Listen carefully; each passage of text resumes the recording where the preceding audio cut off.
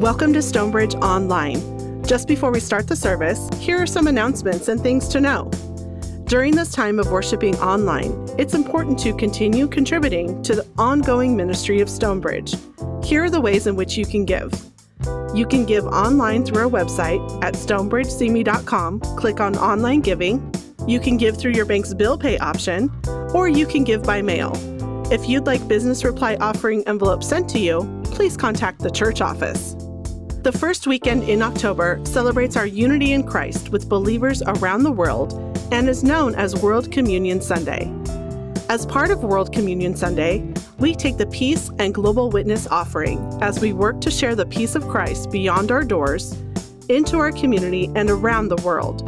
25% of the offering supports peacemaking within our own community. 25% of this offering will support peacemaking work in our region, and 50% of this offering supports peace and reconciliation work being done by our denomination around the globe. To give to this offering, please make a special note designating Global Peace on your check, envelope, or when you give online. Stonebridge is partnering with Vitalant, formerly known as United Blood Services, for a blood drive this coming Wednesday, October 7th, 9 a.m. to 2 p.m. There is a real need right now for blood donations, and you can be a part of the solution. To make an appointment, please call the number or visit the website on the screen. The pastor nominating committee is excited to announce their final candidate, Pastor Jon Saur, and today he will be giving his candidating sermon. Then on Sunday, October 4th at 11 a.m., we'll have a congregational meeting on Zoom to officially extend the call to Pastor Jon as our next senior pastor head of staff and approve his terms of call. If you still need to register for the congregational meeting, please visit our website or check the weekly newsletter for the link to register. A helpful tool to use during worship is YouVersion. To use this, download the Bible app from your App Store. Once downloaded, look for events after clicking More, and then click on Stonebridge's live event. This will allow you to use your smart devices while watching the service for online message notes, extra study links, connecting, and sending in prayers or praises. We would love to know that you're participating in worship. Continue to share your news, prayers, and praises by emailing prayers at stonebridgesimi.com. Or if you are following along in YouVersion, please take the time to fill out the eConnection card. You are an important part of Stonebridge's community of faith. Once again, welcome to worship. Hello, Stonebridge. Today, we begin our service with prayer for the President and First Lady of the United States of America, both of whom have tested positive for COVID. Would you pray with me? Gracious Heavenly Father, we thank you for this nation that we live in and that we love. And we pray for the President of the United States and for the First Lady, for Donald Trump and Melania Trump, you are a God of healing and wholeness. And we ask that you would do all that you can, that you would do the best that you can for these two individuals. All of us who are praying have different thoughts, different hopes, different expectations, different fears. And yet, all of us together, as the body of Christ, pray for this leader of our nation. We pray for the other 7 million plus people who have COVID. And we pray for the families of more than 200,000 who have died. And we pray that you would do all that you can through us as believers, through the nation's scientists, doctors, through all of us who can do our part. But first and foremost today, our hearts, our prayers pour out prayers of hope and confidence for the President and First Lady. Be with them and their families, all those who have been in contact with them our minds spiral out of imagination as, as we think of who they've been in contact with over the last days and where those people now are in the nation. Lord, we just pray for your protection over this country. In Jesus' name, amen. Well, Stonebridge, it's a challenging day for our nation. And it's an exciting day for our church. I want to open this worship service with a scripture from Deuteronomy chapter 7. And it's appropriate for what's going on in our country and in our church this weekend. It says this Know therefore that the Lord your God is God, the faithful God who maintains covenant loyalty with those who love him and keep his commandments to a thousand generations. Stonebridge, that's us. That's you. We have the opportunity today to hear from our candidate for our new senior pastor and to have a congregational meeting this weekend where we can call him into that role and that position. It's exciting and God is faithful. He's faithful to this country and he's faithful to his people for a thousand generations. That's us. That's you. That's Stonebridge. And it's witness here in Simi Valley. So come, let us worship together in confidence, in hope, in spirit, and in truth.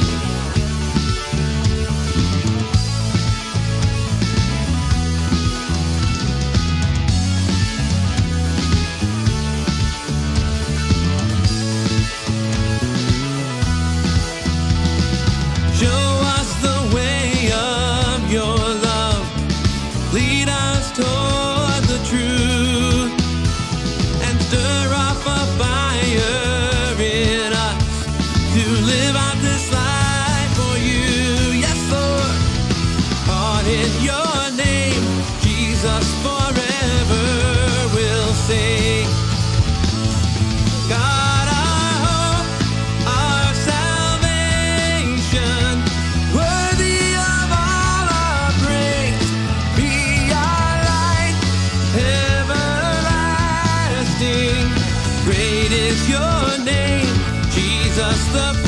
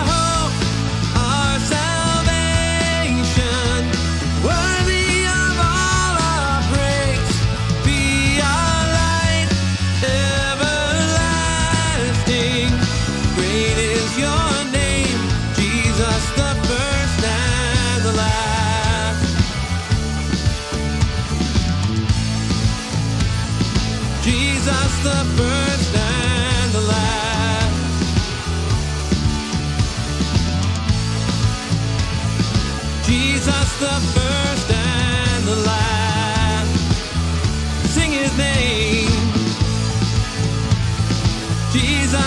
first and the last.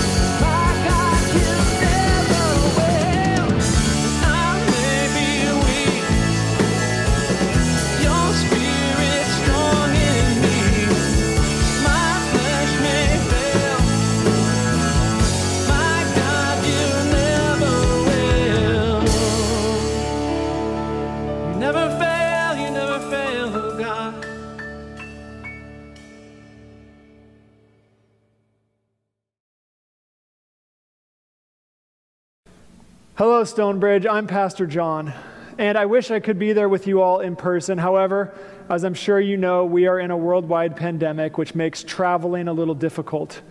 Um, it also makes gathering a little difficult. But I look forward to interacting with you all through the congregational meeting through Zoom this weekend. And I look forward to, hopefully, if you affirm this call, being with you all and getting to know you over these next number of years. This morning, we are going to continue the series that Pastor Neil has been doing on the Gospel of Mark. And we'll be looking at Mark chapter 10. And our scripture this morning comes from Mark chapter 10. It is Mark 10, 35 through 40. And Jesus is with his disciples walking along the road. And as they are walking, Jesus is telling them a little bit about what he will do as the Messiah. And then Jesus' disciples, two of them, James and John, approach him. And that's where our story is this morning. So, hear the word of God as I read the scripture. Mark 10 35 through 40. James and John, the sons of Zebedee, came forward to him and said to him, Teacher, we want you to do for us whatever we ask of you. And he said to them, What is it you want me to do for you? And they said to him, Grant us to sit, one at your right hand and one at your left, in your glory. But Jesus said to them, You do not know what you are asking. Are you able to drink the cup that I drink, or be baptized with the baptism that I am baptized with? They replied, We are able. Then Jesus said to them, The cup that I drink, you will drink, and with the baptism with which I am baptized, you will be baptized. But to sit at my right hand or at my left is not mine to grant, but it is for those for whom it has been prepared. This is the word of God, and thanks be to God. I invite you to join with me in prayer. Lord, as we come before your scriptures, we ask that you would speak clearly to each of us. Illuminate your scriptures, Lord. Bring light to them so that we can hear your word clearly, so we can see you at work, we can know who you are. Take the words of my mouth and speak to each one of us, Lord, so that we hear your word. We thank you, and it's the name of the Father, Son, and Holy Spirit we pray. Amen. What is it that you would like me to do for you? That's the question that Jesus responds to James and John with. What is it you would like me to do for you? How can I help you? What do you want? What can I do for you? That's what Jesus responds to them with when they come to him with this request. And I think for many of us, we can think of a time in our lives where we wish that Jesus were standing in front of us asking that same question What is it you want me to do for you? That question, Jesus actually asks it twice in Mark chapter 10. This time we have in front of us is just the first time that Jesus asks that question. But as the chapter goes on, he asks it again. This time, though, we have Jesus speaking with James and John. And James and John are two of the 12 disciples. They're known as the 12. The 12 are this rather elite group of disciples that Jesus calls by name to himself, to be his followers, to live life with him, and then later on to be dynamic leaders in the church. So, James and John, they're two of the 12. The thing with the 12 that you have to know, though, especially in the Gospel of Mark, the 12 don't really get it. Throughout the gospel, at any given point, they don't seem to understand who Jesus is. They don't understand what he's doing, what his mission is. They, they really just don't get what Jesus' purpose is. So, Mark portrays them as just asking silly questions not grasping what is actually happening right in front of them. Some scholars even develop theories trying to figure out why does Mark hate the 12? I don't think Mark hates the 12, but any reading of Mark will show you the 12 don't really get it. In Mark chapter 8, Jesus tells the 12 that he is going to be betrayed, he's going to be tortured, he's going to go to the cross, he's going to die, and then he'll be resurrected. And the response from the 12 is that Peter tries to take Jesus aside and correct him and rebuke him and tell him he's wrong. It results in that famous line from Jesus to Peter saying, Get behind me, Satan. A chapter later, in Mark chapter 9, for a second time, Jesus tries to tell the 12 what his purpose is, what he came for. Jesus tells them that he will be betrayed, he will be tortured, he will go to the cross, he will die, and then he'll be resurrected. And what's the response of the 12 this time?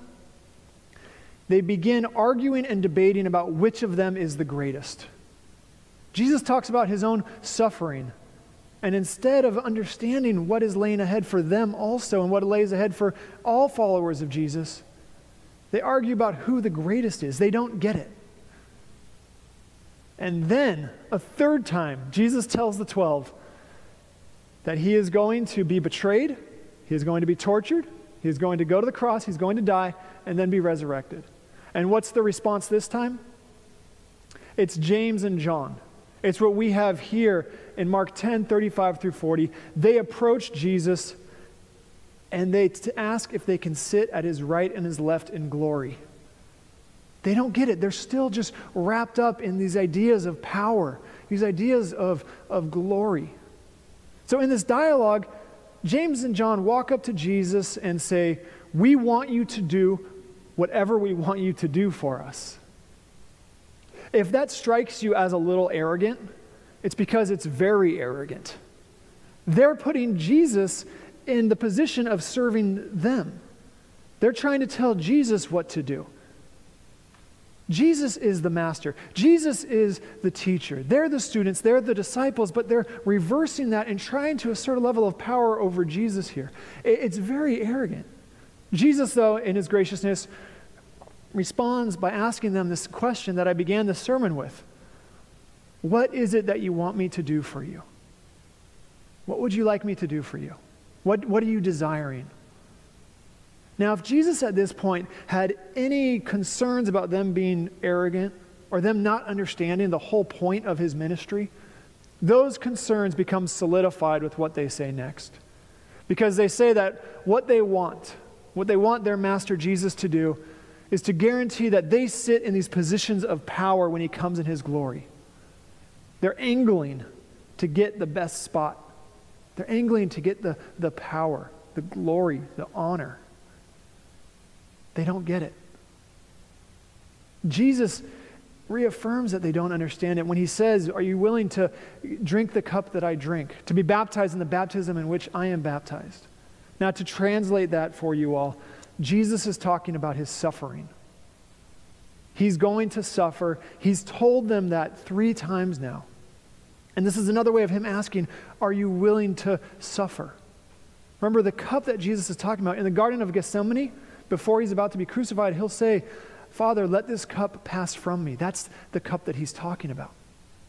James and John, they don't really think, they don't miss a beat. They just say, Yes, we are able. And at this point, we all have to acknowledge that James and John are probably the worst negotiators in the entire Bible. They come to Jesus asking really for a blank check, and Jesus says, You get nothing except suffering. You can almost see Jesus there as Willy Wonka saying, You get nothing. They did a terrible job negotiating this. All they are going to walk away with is suffering, not the seats of power and glory that they asked Jesus for. But they just don't get it, they don't understand it. we could look at James and John, we can vilify them, we can look at the 12 and their lack of understanding, and we could try to shame them. But I think actually the fact that they don't get it, for me at least, is pretty comforting. We're taught so often to seek power over our own lives, to seek control, to seek our own security. We have so many messages coming in telling us that that really is the goal of life to, to make ourselves. And right now, we're in the middle of a presidential election that is completely focused on power.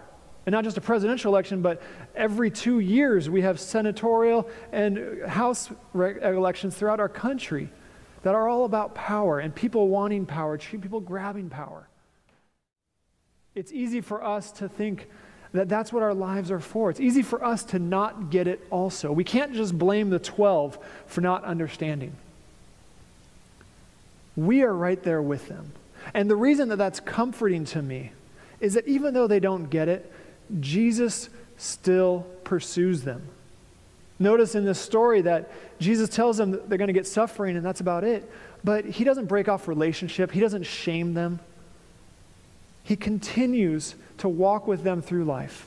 He continues to make room for them and invite them into his ministry. And later on, James and John, they will become leaders in the church. They'll fulfill the mission that Peter that, that Jesus has given to them.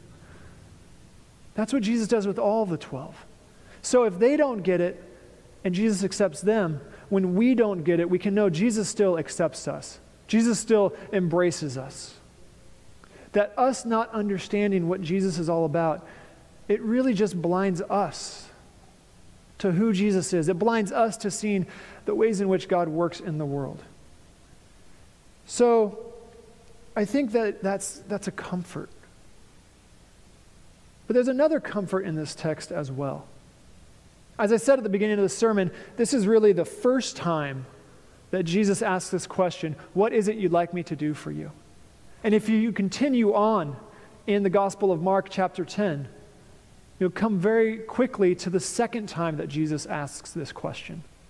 It's a story that happens right after Jesus corrects his disciples, right after he tells them that their lives aren't to be meant focused on power, but their lives are to be meant sacrificing and suffering and pursuing the cross. It's a story of a man named blind Bartimaeus.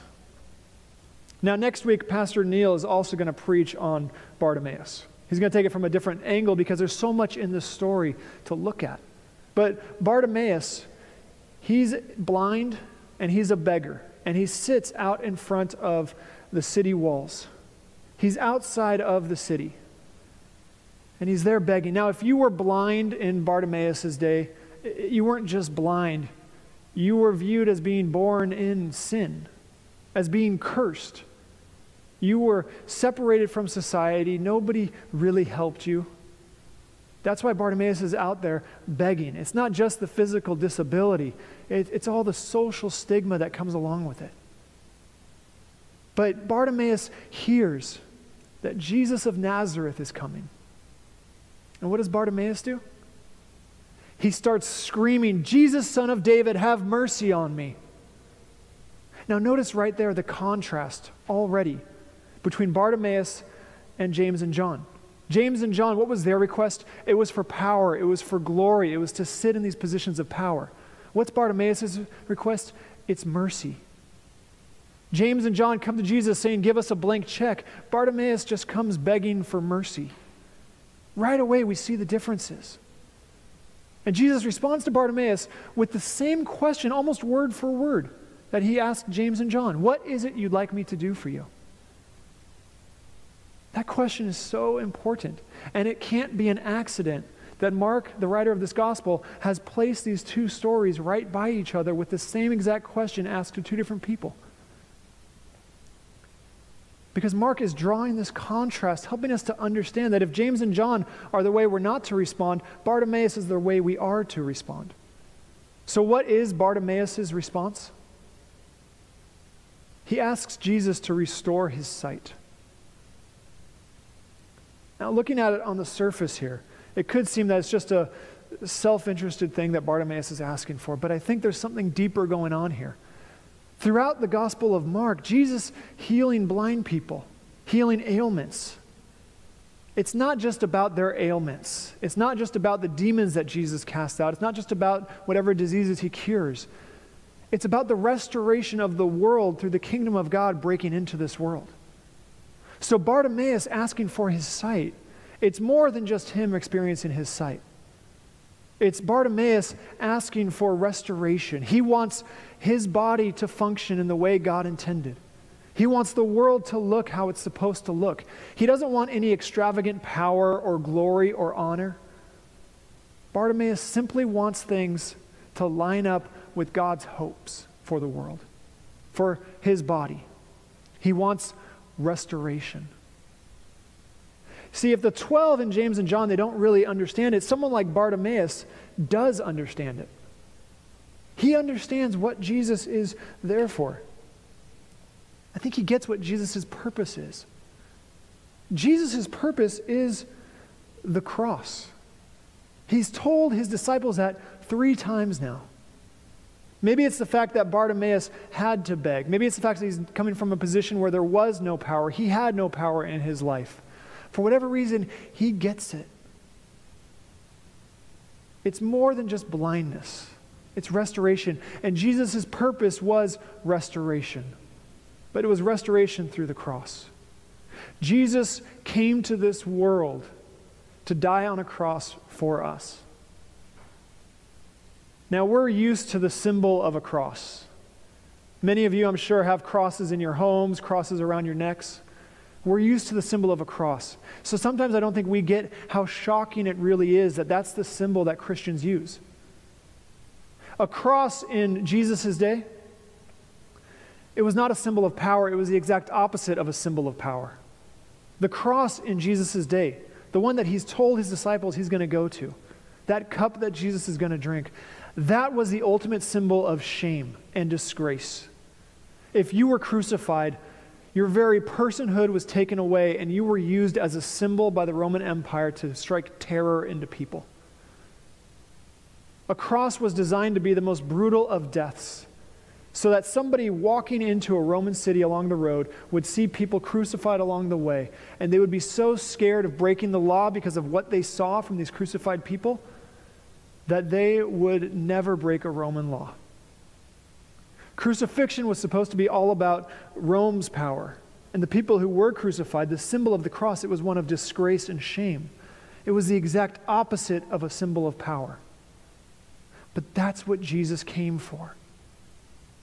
Jesus took the standard power in the world and he turned it upside down.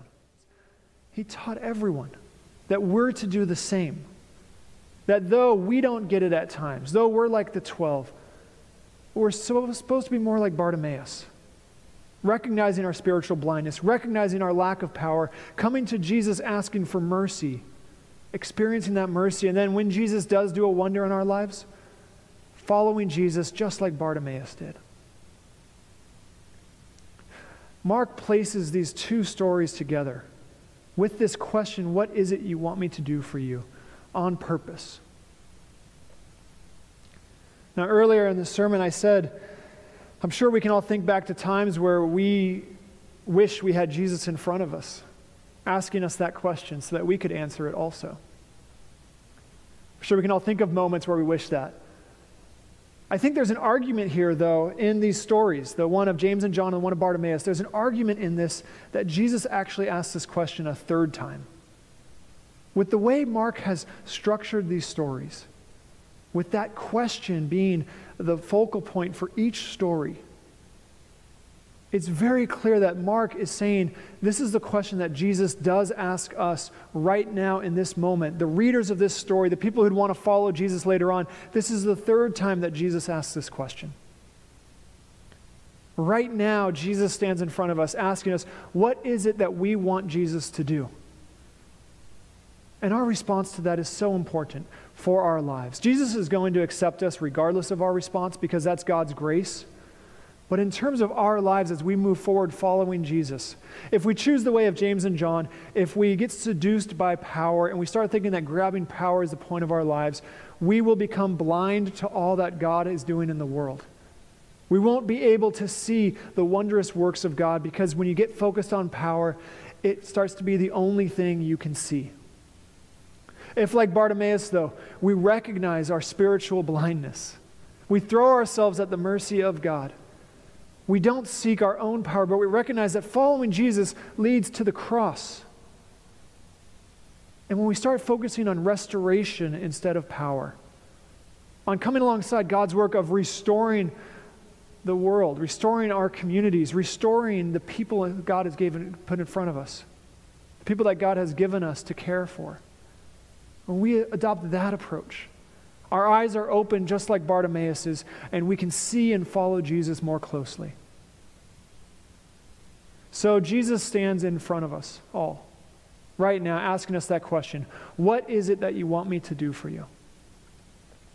And is the answer power or mercy? Is the answer glory or restoration? And his answer honor or the cross? May we answer in the way Bartimaeus did. In the name of the Father, Son, and Holy Spirit. Amen.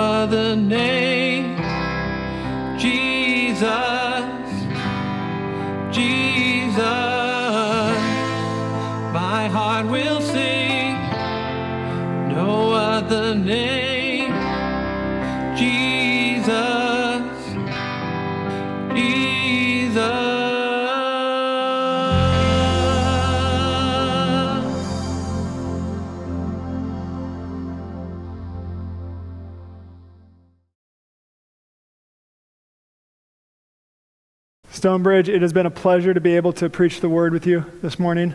And I look forward to interacting with you all in the congregational meeting. And thank you for tuning in to worship and for worshiping our God together. Now, as you go from this place, may you go with eyes to see all that God is doing. May you go pursuing the restoration that God is working in this world. And may you go following Jesus even to the cross. May you go in the grace of our Lord Jesus Christ, the fellowship of the Holy Spirit, and love of the Father. In the name of the Father, Son, and Holy Spirit, go in peace. Amen.